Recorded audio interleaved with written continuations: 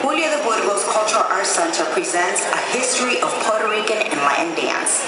We begin at the beginning with the Taino Indians, also known as the Arawaks. They were the indigenous people of Puerto Rico.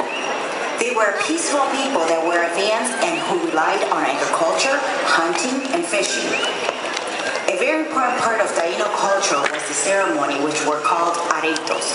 Aretos usually took place in the main plaza of the village or in an area in front of the chief's house. These areas, known as batey, worked as dance grounds and were limited by a series of standing stones, often decorated with carved images. The purpose of the areto ceremony was for the living to communicate with the spirit world. This was attained through music and dances. Aretos took place on many different to celebrate births, marriages, or mourn death, to declare war or peace, or to celebrate the arrival or departure of the important visitors. Although the Tainos are almost non-existent today, their influences is still very much alive across the island of Puerto Rico.